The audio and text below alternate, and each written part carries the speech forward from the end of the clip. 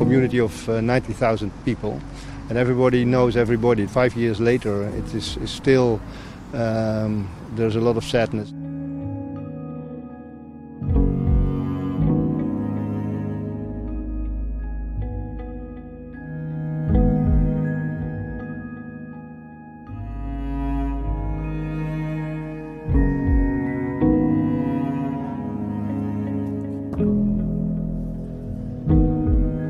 Something happened with me.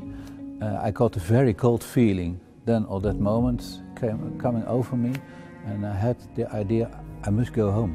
I don't know why, but I have to go home.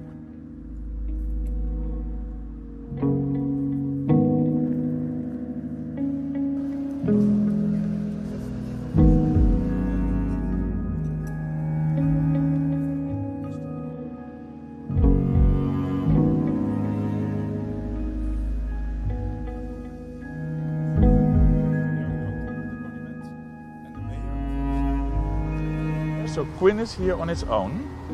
Then you have here two children with their parents.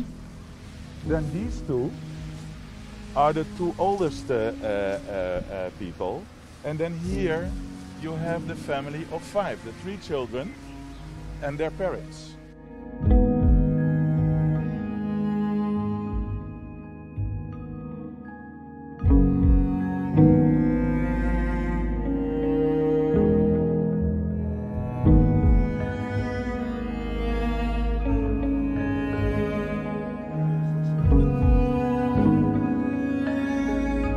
They are both related to MH17, but asking for the Ukrainian government to acknowledge their responsibility for not closing the airspace has nothing to do with the responsibility of the Russians of killing 298 people.